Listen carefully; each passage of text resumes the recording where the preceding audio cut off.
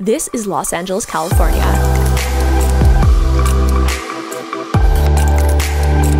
Home to the Hollywood sign, a lot of traffic, beautiful weather, and great food. There are an endless amount of restaurants in LA, so today I'm going to be showing you some of my favorites in this food guide. So make sure subscribed and let's get started. We're starting this food guide off at a small little hole in the wall restaurant located in a place you wouldn't expect. We have made it to Sapp Coffee House, which is actually some of the best known Thai food in LA, and the best part of all is it is in this strip mall that looks like this. One thing to note is this place only takes cash, so you can go across the street and grab some at the liquor store. This place has actually been reviewed by a lot of different food bloggers online, and the famous Anthony Bourdain actually did an episode here for one of his shows, and he raved about this place, so I'm really excited to try it out. I'll do one of the pad thai with tofu, yeah, two uh, Thai iced coffees. And I'll also get the uh, the boat noodles beef, please. They are famous for their uh, boat noodles here, so we got the shrimp salad, and then I got a pad thai. I'm absolutely obsessed with pad thai, so I had to try it here since their noodles are so good.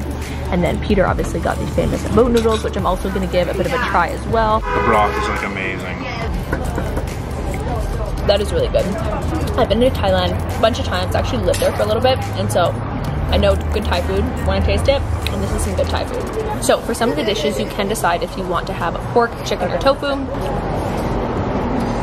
I put a lot in my mouth. I honestly think this is some of the best pad thai I've ever had. Next up, we're gonna try this shrimp salad. One bite of that. Oh my god, It's good. so good. It's like so fresh. All right, so we just got the bill and our total for four or five different dishes actually was $49. So very well priced for such a delicious meal. This right here is Egg Tuck. Another day, another food spot. So we actually spotted a food place across the street from us called Egg Tuck.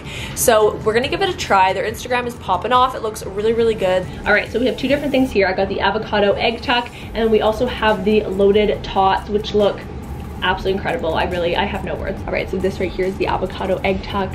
And you know what I just realized? So basically what they do with the sandwich is they, it's not cut all the way to the bottom, but they take a thick piece of bread, they cut it, and then stuff all the stuff inside. It looks like this.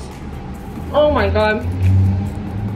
That is so good. Next, we're gonna try the egg tots. Essentially, it's an egg, tater tots, and some sauce.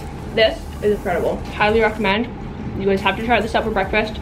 Today we are trying tacos 19 86. 86, which Peter says apparently is the best tacos in the city. So we got our food here and it was really, really quick. And then essentially you can add on obviously your own salsa that you want, depending on the spicy level. So we have a mushroom quesadilla and then also two mushroom tacos, fairly small, but that being said, they're also affordable. So you can get a bunch of them. And they do come with guacamole and salsa already.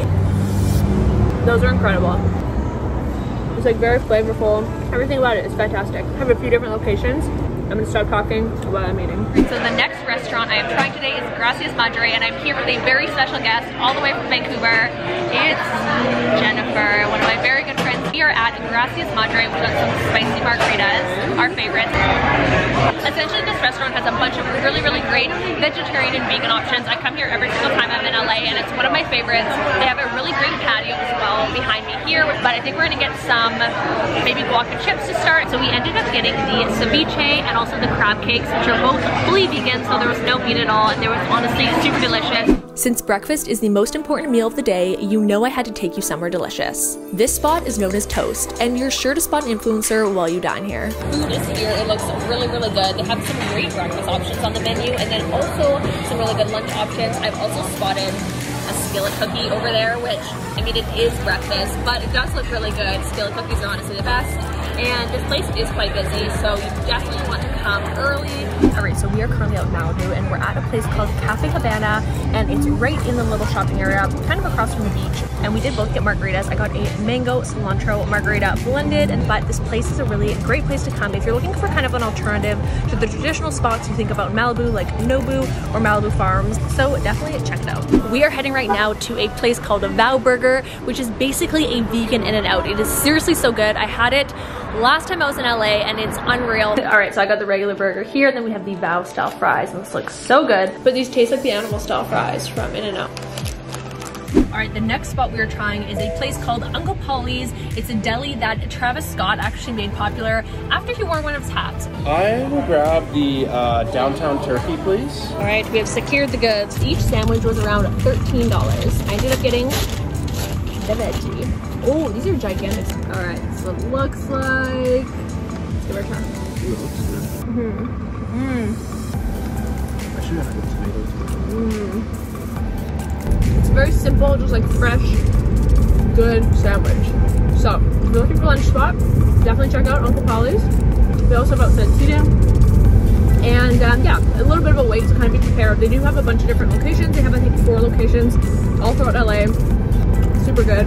Give her a try. All right, the next place we are trying on our food tour is Cecconi's. It's a bougie Italian spot here in West Hollywood. The food looks delicious, so I'm really excited to try some items on the menu.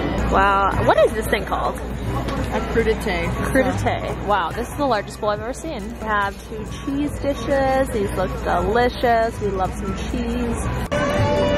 All right, good morning. It is a new day today, and this morning we are going for breakfast at a place called Pascal's, which apparently has amazing croissants. We got the goods, we got some chocolate croissants. We're gonna dig into these at home. Croissant's pretty good. Yeah. Would be better heated up or warm for sure, but mm. very flaky. We're now back from Pascal's. I would definitely recommend to go early in the morning when they were fresh. They were pretty good, but I think would be even better when they're hot and right out of the oven. We're currently in downtown LA, which I don't typically like to come to if I'm being honest.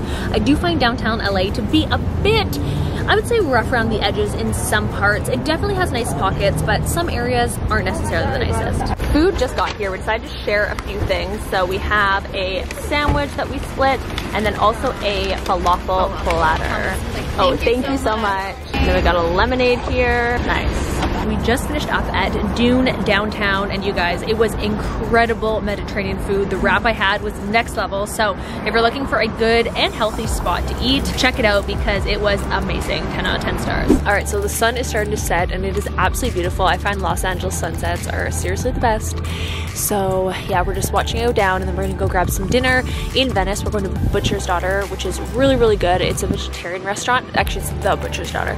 Um, but I usually go there for brunch when I'm here in Los Angeles, but they do have some good dinner menu options as well. Okay, so we've made it now to the Butcher's Daughter here on Abbot Kinney, and we just got a bunch of sharing plates and highly recommend Laura Seal And that wraps up my LA food tour. Comment below which city I should eat in next, and I'll see you guys next time. Bye!